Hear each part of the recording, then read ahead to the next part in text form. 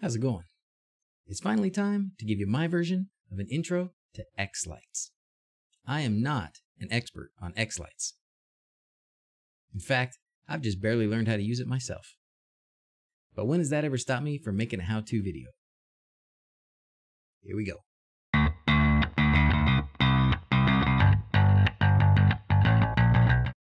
If you've never heard of xLights, it's the software that lets you make those crazy cool holiday light shows.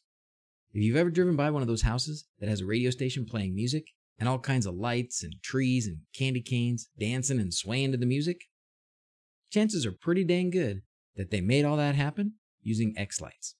xLights is free to use, and you can download it at xlights.org. And they have versions for Windows, Mac, and Linux. In this video, I'm going to show you how to get WLED controllers working with xLights.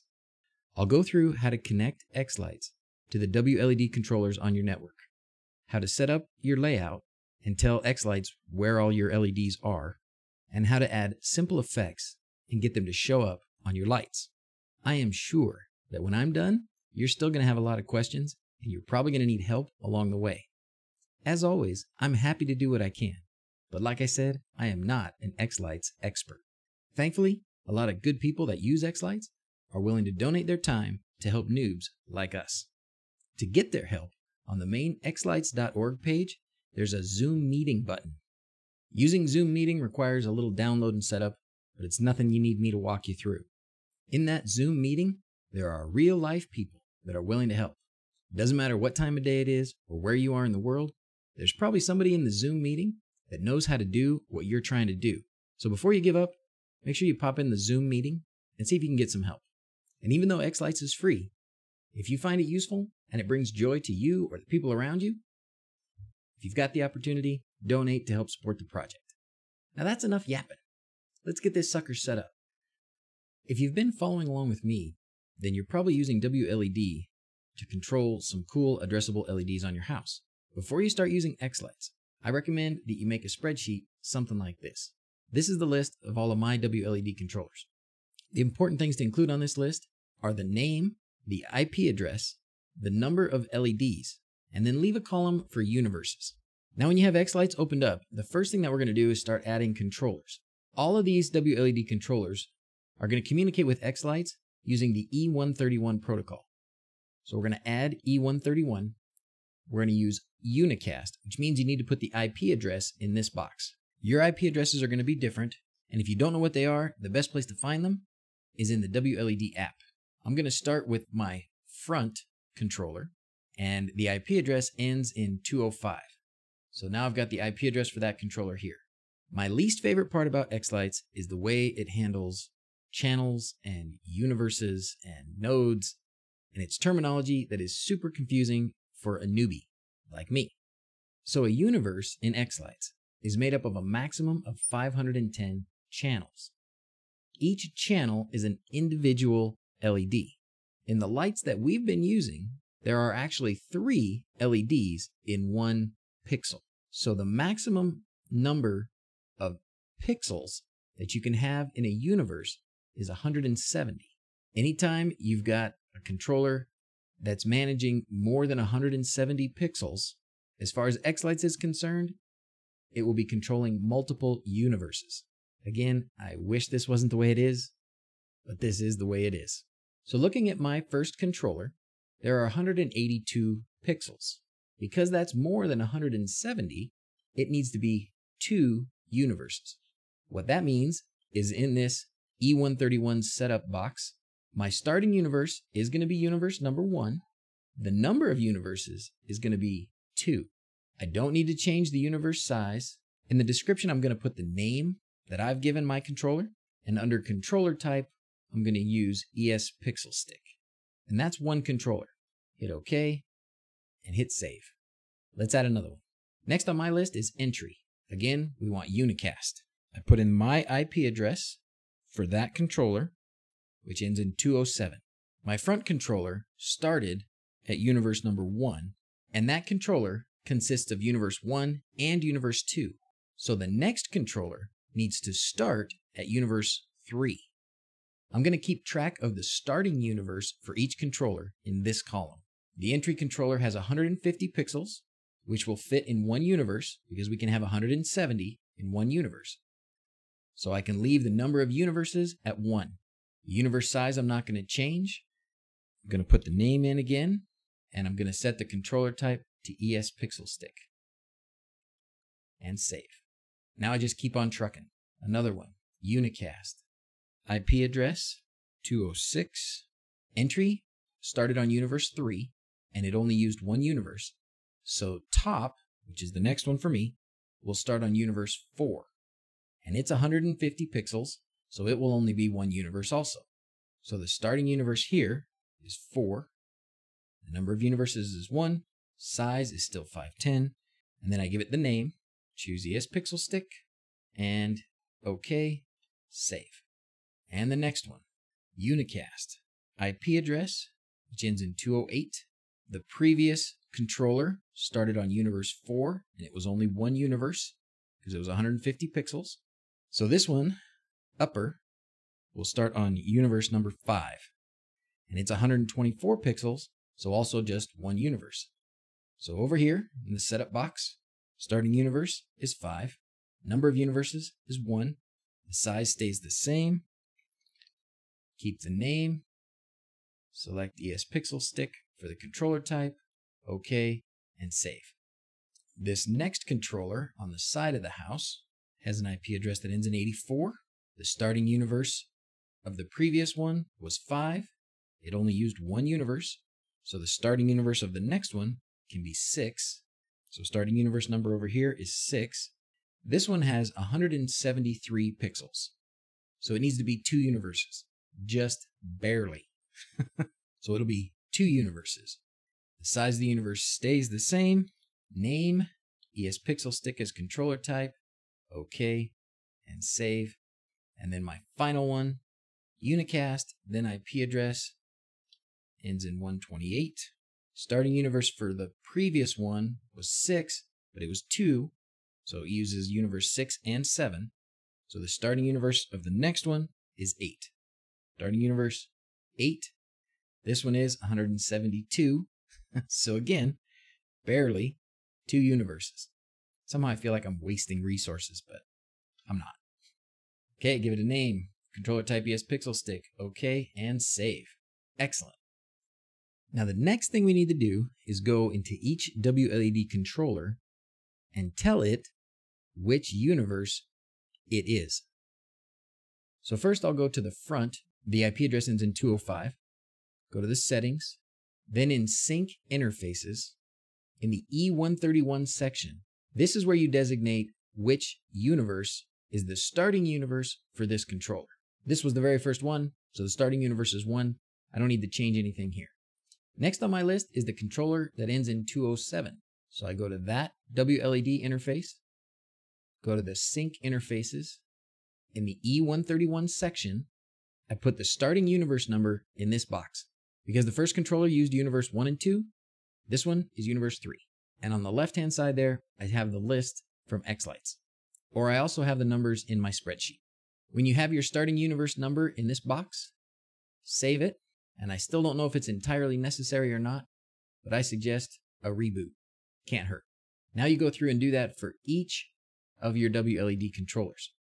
So for number 206, I go to Sync Interfaces, scroll down to E131.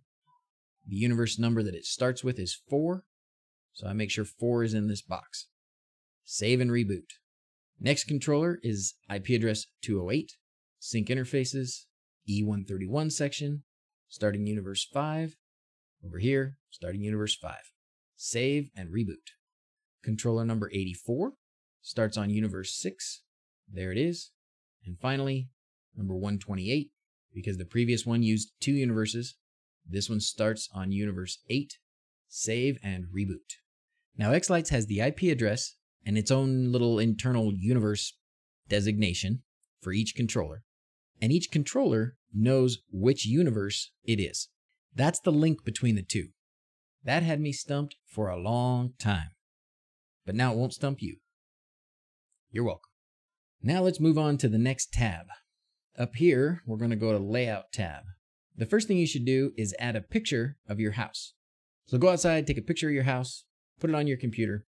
Then here where it says background image, click the little dots, select the image that you want to use, and then you can adjust things like the brightness so that it just barely shows up in the background and save.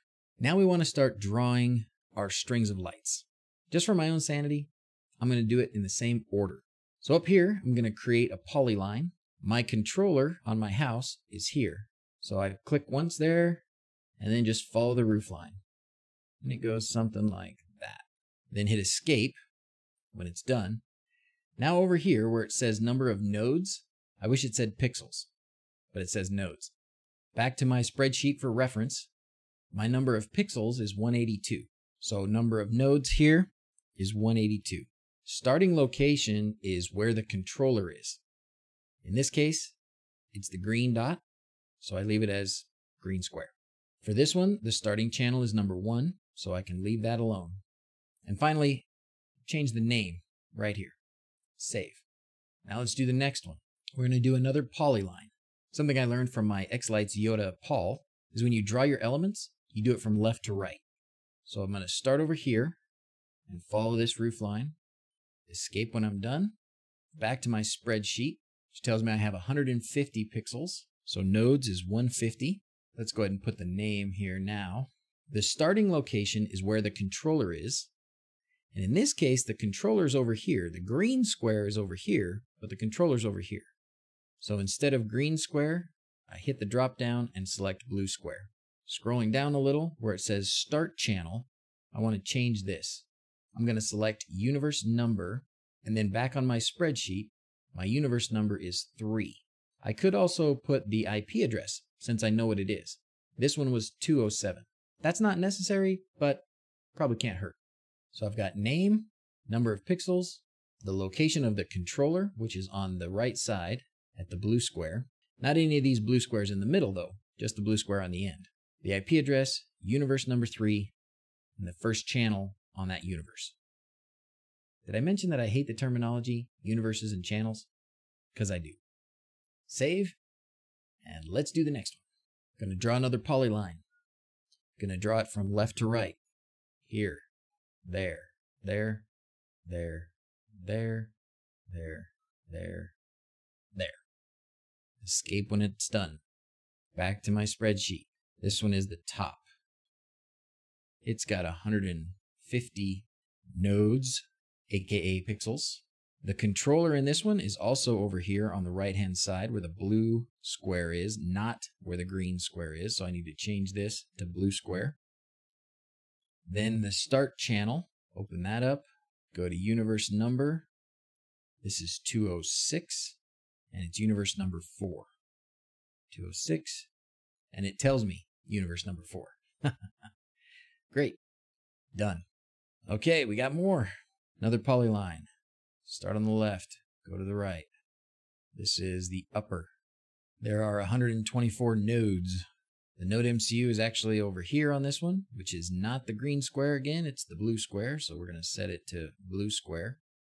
So we keep the left to right when we're drawing our elements, but we need to designate which side of the string the controller is actually on. And that's what the starting location defines. Now we go down here to Start Channel, Universe Number. This one is 208, and it pops right in with Universe Number 5. All right, two more. This is a little funny because the picture I'm using doesn't actually show the whole display. So I need to do just a little bit of representative geometry. The line goes here initially, but then it goes all the way down the side of the house. So I'm just going to draw a line. Now let's draw it like that. This one is the side. So we change the name to side. 173 pixels or nodes. The controller, again, is at the blue square instead of the green square. My controller is not here. It's actually at the other end of the string. And then my start channel is 84, which pops in my universe number 6. Save. The last one is just a line. And it's along the back of the house, but it pretty much connects with this side. So we're going to do this. Just draw a line along the back. Now we're on this controller. So that's rear. There are 172 pixels in it. The controller is on this side where the blue square is, and the start channel, universe number 128. Starts on universe 8. That's my layout. Next thing we want to do is make a group with all these models in it. So right click, then add group. I'm going to name it capital A L L. And then down here at the bottom, I can select all these models and move them over to models in group. Now they'll all be in this all group. Now the last part here happens in the sequencer tab. A sequence in xLights is the show. That's where you actually designate what lights do what. When you go to the sequencer tab, you need to start a new sequence. Everybody wants musical sequence, so select musical sequence. You need to pick a song. We're going to pick Hail to the Victors. The brain in these little WLED controllers is not super big, so we probably want to stick to 20 frames per second. And we can just hit quick start, and that will bring in all of our models, and it brings in the song. All these crazy cool little symbols here are the effects. To get an effect to play on a certain element, you just drag it from up there to where you want it down here, and it'll show you in the preview window what it's doing. Stretch that out so that it covers the area that you want, and put a few more on different places. Once you've thrown some effects in here, hit render and then play.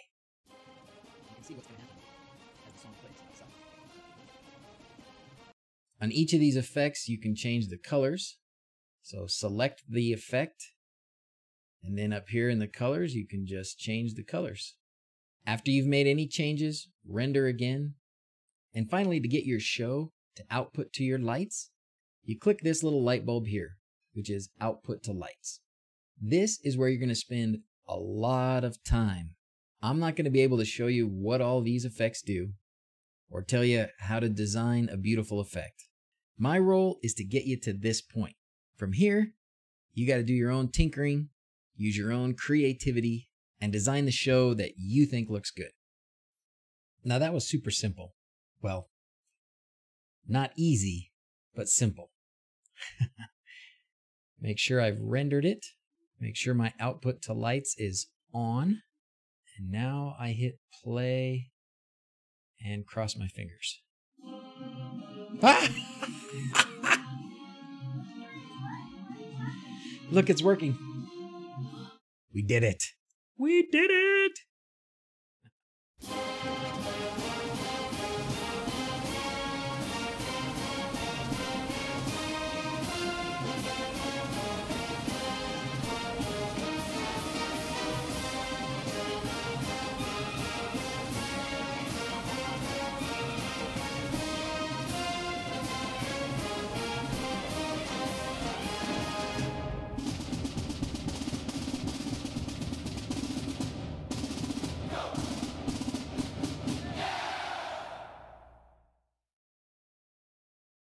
Well, there you go. That was my super basic, rookies only, xLights Getting Started Part 1. If you want some more details on how to get more out of xLights, and I'm sure you do, then check out this fella at Learning Christmas Lights. He's got a bunch of playlists here, including a Getting Started in 2019 guide. That's all for now. As always, thanks for watching. Till next time, Adios.